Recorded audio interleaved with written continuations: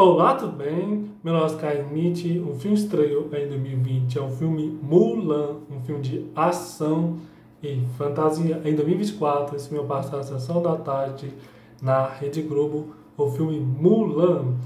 Mulan é uma adaptação live action do filme de animação Hormônio da Disney de 1998, baseado na história do folclore chinês Balada de Mulan.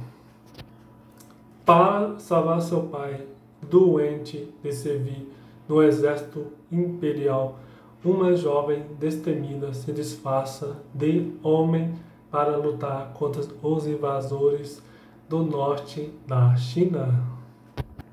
O filme Mulan custou 200 milhões para ser feito. O filme não foi muito bem, arrecadou apenas 69 milhões.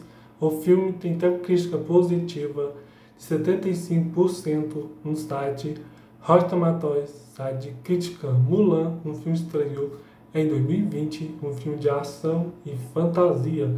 Você curtiu essa notícia? Até a próxima e tchau!